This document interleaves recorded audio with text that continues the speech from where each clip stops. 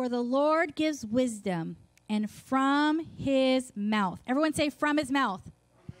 From his mouth comes knowledge and understanding. See, the Lord gives wisdom, so the things that we incline our heart to hear, or our ears to hear.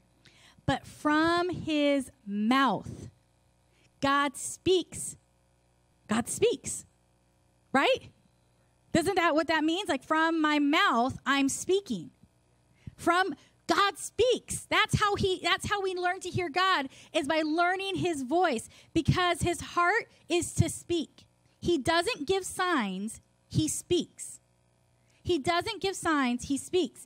I think that, and what has happened is we've dwindled down looking for signs when the Lord already has promised that he's going to speak from his mouth.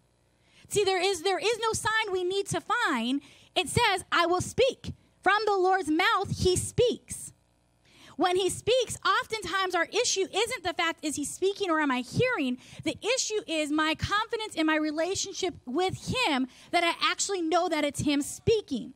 See, if we aren't confident in our relationship with God or we've not um, invested in that portion to learn to hear him speak from his mouth, we'll always doubt if it's him speaking.